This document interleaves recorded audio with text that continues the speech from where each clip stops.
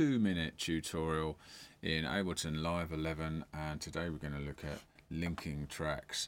Um, I've got a drum kit, it's a multi-channel uh, recording uh, across eight microphones. That's a kick drum, snare drum, top and bottom, uh, the tom-toms and two overheads. So um, I need to edit this, I want to create some little loops um, from it. Now, normally in the old uh, versions of Live, you would have to do something like this to grab sections of your drum kit uh, or your multi-channeled recording and then loop it uh, by picking it up and uh, holding down Alt and dragging it, or maybe using the duplicate function or whatever.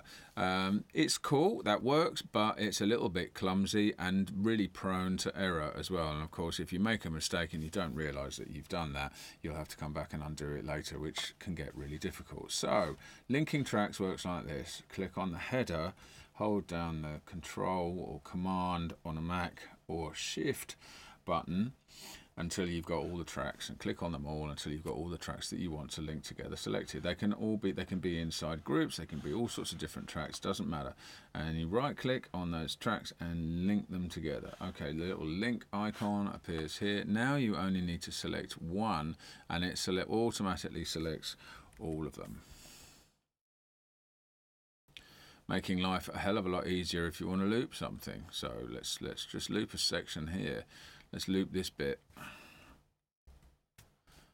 And I can duplicate it, duplicate it, and there we go. Now it also, if I was to double click on one of these uh, clips and look at the editor, you can see that you can edit all of their gains together you can edit their warp mode, and if you were to edit their warp mode and to put them into complex mode, you'd be able to edit the pitch altogether. So let's play that back.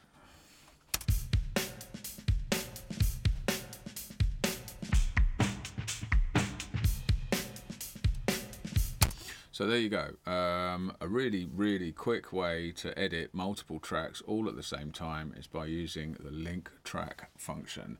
Thanks very much for watching. Bye bye.